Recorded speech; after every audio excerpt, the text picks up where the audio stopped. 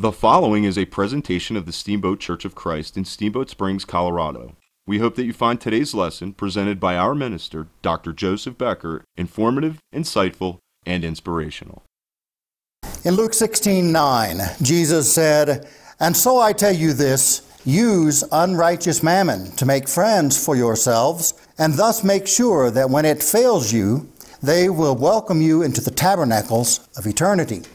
Now, the Greek word in Luke 16:9 that's translated tabernacles is the plural form of the Greek word skene, which is the word used throughout the Greek Old Testament, the Septuagint, where it's sometimes translated home or dwelling or dwelling place, but most often it's translated tabernacle with specific reference to the tabernacle that was built by Moses. And I'm persuaded that that evocation by the Lord is deliberate in Luke 16, because there's no sense of the word skene in reference to a house or a tent or a residence in any ordinary usage of those words that would fit the context of Luke 16:9. After all, the skenas to which Jesus refers in this passage are the tents of eternity, or the tents of the age to come. So, to what was Jesus referring in Luke 16:9 when he referred to the tabernacles of eternity? Well, as you may recall from some previous lessons that I preached on the parable of the unjust steward six or seven years ago, I'm sure it's very clear in your memory. We know that Jesus here is not referring to the heavenly tabernacle spoken of in Hebrews 9 because Jesus' reference to the tabernacles of eternity is distinctly plural, and one of the distinguishing features of the heavenly tabernacle is that it is singular, it is unique, it is one of kind. Likewise, we discussed the possibility that the tabernacles of eternity here are the mansions of glory that Jesus has gone to heaven to prepare for us. And that remains a workable possibility. However, I'm persuaded that Jesus has something else entirely in mind when he speaks of the tabernacles of eternity in Luke 16 9. As you know, God has an abiding desire to dwell in the midst of His people. And the Bible is replete with examples of God doing that very thing by inhabiting spaces that His people had constructed for Him. For instance, God inhabited the open space constructed for him by Abraham in Genesis 15 17, when Abraham set out an esplanade of bifurcated sacrifices, and God came and passed between the sacrificed carcass halves in order to ratify his covenant with Abraham. Again, God inhabited the Holy of Holies in the tabernacle of Moses, which was located at the center of the Israelite camp, which camp followed the presence of God wherever it went. And again, God inhabited the Holy of Holies in Solomon's temple. And this third inhabitation God undertook even though he had certain misgivings about the temple itself. As we read in 1 Chronicles 17, 3 through 5, but it happened that night that the word of God came to Nathan, saying, Go and tell my servant David, Thus says the Lord, You shall not build for me a house to dwell in. For I have not dwelt in a house since the time that I raised up Israel, even to this day, but have gone from tent to tent, and from one tabernacle to another. Nevertheless, when his people pleaded with him to allow them to build him a house, he relented, and at their behest he inhabited that house.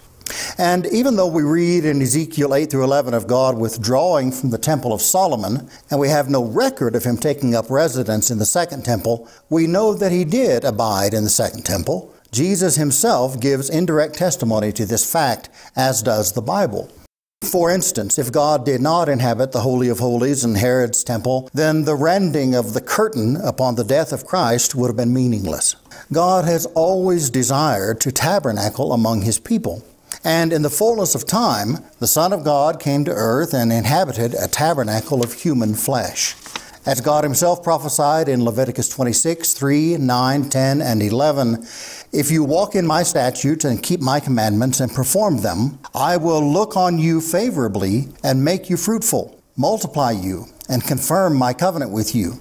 You shall eat up the old harvest and clear out the old in deference to the new. I will set up my tabernacle among you, and my spirit shall not fail to thrive among you. I will walk among you and be your God, and you shall be my people. Which prophecy was fulfilled in the incarnation of Christ. As John tells us in John 1 1 through 4 and 14, in the beginning was the Word, and the Word was with God, and the Word was God. He was in the beginning with God. All things were made through him, and without him nothing was made that was made. In him was life, and the life was the light of men. And the Word became flesh and tabernacled among us. And we beheld his glory, the glory as of the only begotten of the Father, full of grace and truth. And the word that's translated tabernacled here is the verbal form of the word skene, tabernacle. When the Holy Spirit came upon Mary and the power of the Most High overshadowed her, and she conceived in her womb and bore a child, the holy conceptus that was born unto her was the second person of the Godhead dwelling in a tabernacle of human flesh. Matthew 1:23 And behold a virgin shall conceive and bear a son and they shall call his name Emmanuel which means God with us and for the next 30 some odd years, God dwelt in a closer proximity to his people than he had ever done before. Then, at last, when Jesus ascended into heaven, he sent his Holy Spirit, who tabernacles in the bodies of all Christians. As the psalmist wrote in Psalm 132, 1 through 8, Lord, remember David and all his afflictions, how he swore to the Lord and vowed to the mighty one of Jacob, Surely I will not go into the chamber of my house or go up to the comfort of my bed. I will not give sleep to my eyes or slumber to my eyelids until I find a place for the Lord, a dwelling place for the mighty one of Jacob. For behold, we heard it in Ephrathah, which is Bethlehem it lit upon us in the fields. It lit upon us in the woods, that we might be numbered among his tabernacles, that we might worship at his footstool. Fix your resting place in us, O Lord, even as you fixed it on the ark of your strength. Let your priests be clothed in righteousness. Let your saints shout for joy. And so it is with every one of us. As Paul tells us in 1 Corinthians 3:16, do you not know that you are the temple of God and that the Spirit of God dwells within you? And again in 1 Corinthians 6 18 through 19, do you not know that your bodies are temples of the Holy Spirit who is in you, whom you have received from God? You are not your own. You were bought at a price. Therefore, honor God with your bodies. The Spirit of the living God, the Holy Spirit of Jesus Christ, which once took up residence in his own tabernacle of human flesh, has now taken up residence in these tabernacles of human flesh. And that same Holy Spirit is sanctifying us from within that we might be sanctified from without for all eternity. As Paul tells us in 2 Corinthians 5 1 through 5, for we know that if the earthly tabernacle we live in is destroyed, we have a building from God, an eternal house in heaven, not built by human hands. Meanwhile, we groan, longing for the day when we will be clothed over with our heavenly dwelling. Because when we are so clothed, we will not be found naked. For while we are in this tabernacle, we groan and are burdened, but not because we wish to be unclothed, but rather because we wish to be clothed over with our heavenly dwelling, so that what is mortal may be swallowed up by life. Now, the one who has fashioned us for this very purpose is God, who has given us the Spirit as a deposit, guaranteeing this very outcome. And again in 1 Corinthians 15 42 through 45, so it will be with the resurrection of the dead. The body that is sown is perishable, it is raised imperishable. It is sown in dishonor, it is raised in glory. It is sown in weakness, it is raised in power. It is sown a natural body, it is raised a spiritual body. For just as surely as there is a natural body, there is also a spiritual body. As it is written, the first man, Adam, became a living soul, the last Adam became a life giving spirit.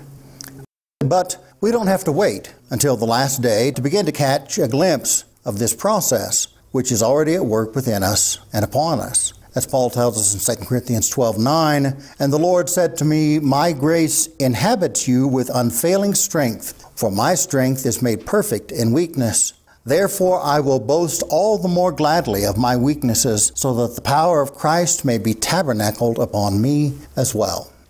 What are the tabernacles of eternity to which Jesus refers in Luke 16 9?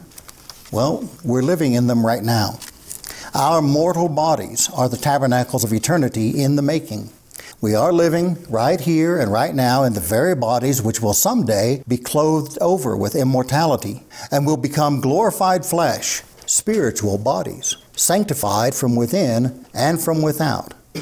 And that reality is a reality precisely because while we are the primary inhabitants of our bodies, we are not the sole inhabitants of our bodies. In John 15, 4, Jesus said, Abide in me, even as I abide in you. And what does it mean for us to abide in Christ? Well, Christ gives us one very important piece of information that ought to help us understand what that means. Because according to Jesus, the sense in which we abide in Him is the same as the sense in which He abides in us. When Jesus said, Abide in me, even as I abide in you, that was not a metaphor. Remember, in Philippians 1 3 through 7, Paul said to the saints at Philippi, I thank my God every time I remember you. In all my prayers for all of you, I always pray with joy because of your reciprocation with me in the gospel from the first day until now, being confident of this that he who began a good work in you will carry it on to completion until the day of Christ Jesus. I am completely justified in feeling this way about all of you because I have you in my heart, both in my bonds and in my defense of the gospel, for you are all mutual partakers with me in grace. And I can tell you with confidence that, contrary to many interpretations of this passage, when Paul tells the Philippians that he has them in his heart, that is not a poetic way of saying that he loves them. Now, he does love them, but that isn't his meaning. And it can't be his meaning. Of that I'm certain, because if we were to take the words, I have you in my heart here to mean I love you, then we would have no choice but to intuit from what Paul says in verses 6 and 7 either that Paul believes that his love for the Philippians stands as evidence of their salvation, or that his love for them has the power to bring about their salvation. But both of those propositions are completely preposterous. Paul would not say any such thing, and he did not say any such thing. No, what Paul is doing here is building a case. He's making an argument, and the argument that he's making is that he who began a good work of salvation in the Philippians will carry it on to completion until the day of the Lord. And the proof that he gives to substantiate this claim is his testimony that he has the Philippians in his heart, which testimony, as he presents it, completely justifies his confidence that the Philippians will all be perfected on the day of the Lord.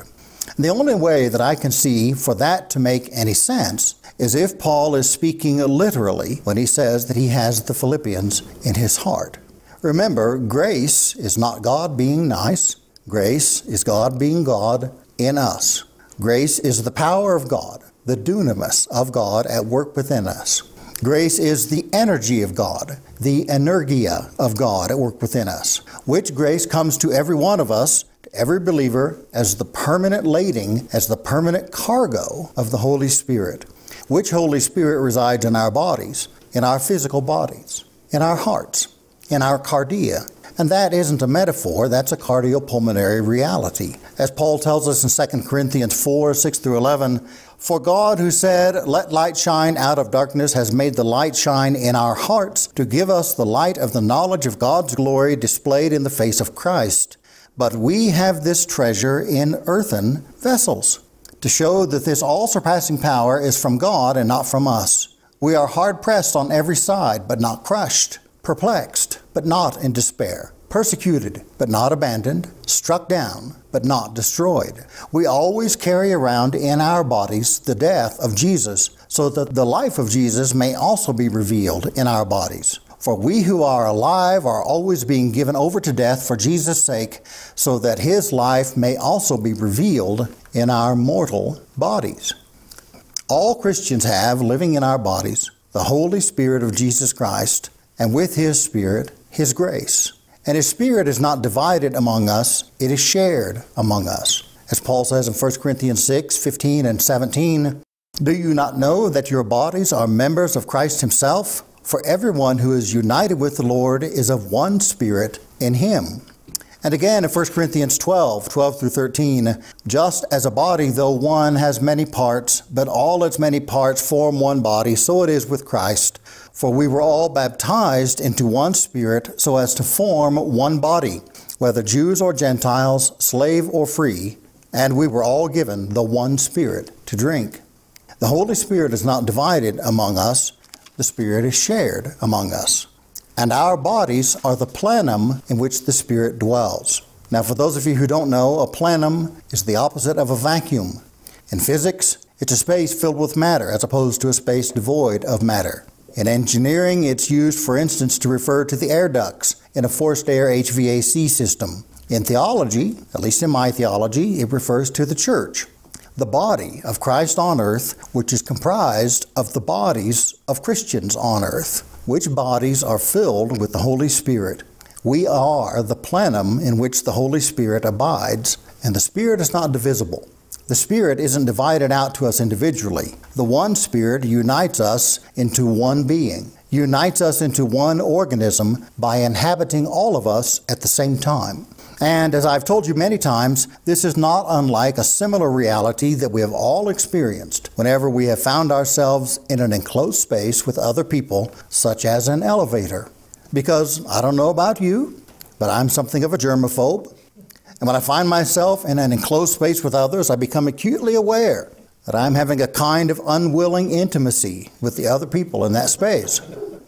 Because they, not me of course, but they are breathing out pathogens that I suspect are not healthful for me.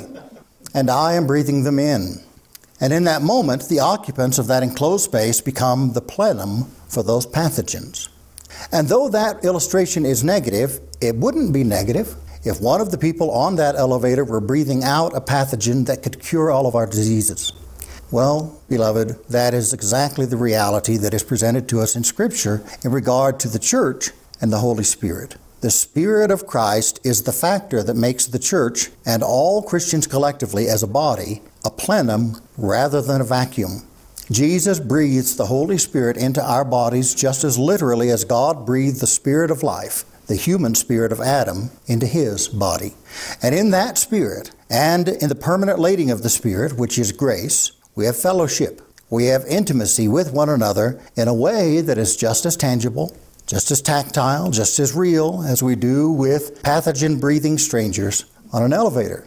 As a matter of fact, Peter and Paul both use that very word the word pathema, from which we get the word pathogen, to describe the power of grace at work within us and among us. Philippians 3 10 through 11. I want to know Christ, yes, to know the power of his resurrection and participation in his pathema, becoming like him in his death, that by this means I might attain to the resurrection from the dead. 2 Corinthians 1 6 through 7. But if we are afflicted, it is for your calling and salvation, in which you receive the enduring energy of the same pathema, which we also experience. And if we are comforted, it is for your calling and salvation. Thus, our hope for you is steadfast, for we know that if you participate together with us in our pathema, that you also participate together with us in our calling. 1 Peter 4 12 through 13. Dear friends, do not be surprised at the fiery ordeal that has come upon you to test you, as though something strange were happening to you. But rejoice, for you are participating in the pathema of Christ, so that you may thrive when his glory is revealed. And that is the reality of life together in Christ that I think is in view in Philippians 1 6 through 7. As Paul seems to understand the matter, Christian participation in the grace of Jesus Christ is a deeply intimate, interspiritual, and interbodily experience. Grace doesn't come to believers in a vacuum. Grace comes to believers in a plenum, a plenum in which we all participate through the Holy Spirit, which lives in our hearts, in our cardia. And through that fellowship, we participate in one another's very beings, body, and spirit. So when Paul says to the Philippians in Philippians 1 6 through 7, I am completely confident that he who began a good work in you will carry it on to completion until the day of Christ Jesus, and I know this for a fact because I have you in my heart. What he is testifying to is a reality that he is experiencing. The Philippians are in his heart. And as far as Paul is concerned, that stands as empirical evidence that they are, in fact and in truth, saved that Christ, in fact and in truth, dwells in their hearts. Because the only way that they could possibly have come to reside in Paul's heart, the only way that their human spirits could possibly be cohabitating with his human spirit in his cardia is through the plenum of the Holy Spirit of Jesus Christ, through the plenum of grace which is exactly what Paul goes on to say in the second half of Philippians 1 7. I am completely justified in feeling this way about all of you because I have you in my heart, both in my bonds and in my defense of the gospel, for you are all mutual partakers with me in grace. That's the nature, the actual nature, the tactile nature, the palpable nature of the spiritual reality and the physical reality of the fellowship of grace. All Christians abide in one another precisely because Christ abides in us.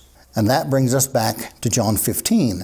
When Jesus says in John 15, 4, Abide in me, even as I abide in you, he's doing more than bidding us to remain in fellowship with him.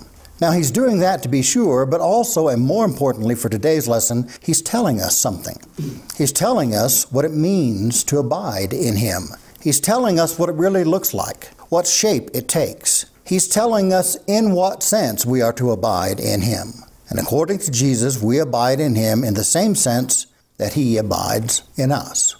Now, if that's right, if Jesus understands this correctly, and if I understand Jesus correctly, then that means that we abide in his heart in the same sense that he abides in ours, and in the same sense that we abide in one another's hearts, through the plenum of the Holy Spirit, through the plenum of grace.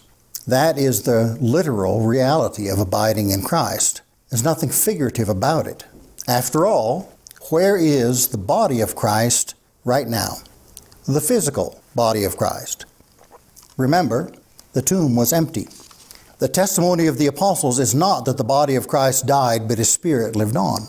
No, the testimony of the apostles is that Jesus rose from the dead, body and spirit, and that over a period of 40 days he was seen and seen and seen again. And he wasn't just seen, but he was heard and touched he was not only touched with the apostles' hands, but he also touched others with his hands. And he handled objects, and he ate. He even cooked breakfast for seven of the apostles one morning on the shore of the Sea of Tiberias. Now, his body was changed, it was glorified. So the body of Christ is different now than it was when he died. But make no mistake about it, it's still his body. And according to the Bible, he's still in it. He didn't leave it behind when he ascended to the heavenly places. No, if I understand the matter correctly, Jesus is seated at the right hand of the Father, ruling and reigning over the inaugurated kingdom of God in glorified flesh.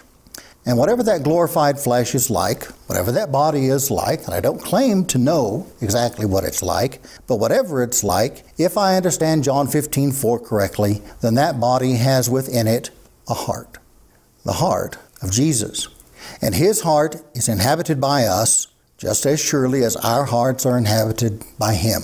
And in the same sense, in the same manner, in the self same way that our hearts are inhabited by him through the plenum of the Holy Spirit, through the plenum of grace. Those, as I understand the matter, are the bare facts of the reality that's in view when Jesus says, Abide in me, even as I abide in you. Now that brings us to where we left off last week. Because last week we were addressing the question of whether Jerusalem in general, and the King's Dale in particular, should properly be considered simply as land or as holy land. And I began to answer that question by making an analogy between our bodies and Jerusalem. And this analogy is more fitting than you might think. I mean, you take a young child to a funeral, and the child asks, What is Grandpa doing in that box? And you answer, Well, that isn't Grandpa, that's just his body. Grandpa, the real Grandpa, is in heaven with Jesus. What's in that box is just a shell, just a casing that your grandfather lived in for 90 years, but he doesn't need that anymore because now he's free from his body and his spirit is in heaven. Now that satisfies the child, but it isn't right, is it? I mean, Grandpa may very well be with Jesus, but he isn't in heaven. He's in paradise. He won't go to heaven until the last day and the final judgment. Now, in paradise, he is in spirit only. His spirit is in paradise and his body is in the grave. But his body is not merely a shell, his body is every bit as much him as is his spirit. Remember, the Bible makes two distinct propositions about what happened to Jesus when he died. He was received into the hands of the Father in paradise, and he was buried in a tomb where he remained for three days and three nights until he rose from the dead. And both of those propositions have to be true. And how can that be? Well, that can be because it conforms to the fundamentals of the human constitution. When God created Adam, he first created a creature of dust. But the creature of dust was not a human being. It was not until God breathed the breath of life into the nostrils of the creature of dust that he became a human being, that he became a living soul.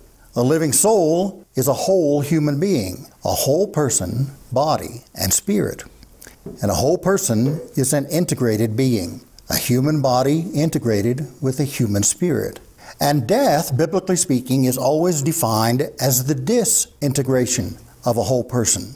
When a person's spirit and body are separated from one another, death occurs. Then the body goes to the grave, and the spirit, in the case of the saved, goes to paradise. And both are still you. Your body is every bit as much you as is your spirit. If this were not so, then Jesus was not buried and did not spend three days and three nights in the grave. His body did. But that isn't what happened. When Jesus rose from the dead, his spirit and his body were reintegrated, and he rose, body and spirit, from the grave. And according to the Bible, it will be the same for us when we rise from the dead. We too will rise, body and spirit, from the grave, fully reintegrated and fully glorified. Our spirits glorified, never to sin again. Our bodies glorified, never to die again. And of what is your body made? Of what is it comprised? Well, if you trace it back far enough to the first man, Adam, the human body is made from the dust of the earth, from the elements of the earth, from the dirt, from the ground. And what is the status of our bodies right now? Are our bodies merely the shells in which we, the real self, dwells? No. Our bodies are us just as surely as our spirits are us. Now let that sink in for a minute and allow that truth to become generalized in your way of thinking. The raw material out of which the glorified body of Christ is made constitutionally is his mortal body, the body of his incarnation. The raw material out of which our glorified bodies will be made constitutionally are our mortal bodies, the bodies that we are right now, which are the tabernacles of eternity in the making. The raw material out of which the new heaven will be made, constitutionally, is the current heaven. The raw material out of which the new earth will be made, constitutionally, is the current earth. These four corpi, or corpuses, have something in common. They are all as they are right now. They are all undergoing transformation right now, and they will all be redeemed on the last day. And in all these cases, what that redemption involves is taking these things as they are and transfiguring them into what they ought to be. Which transfiguration, which transformation will be done by the energy of God the Father, which energy is glory. That's what glorification is. That's how glorification works.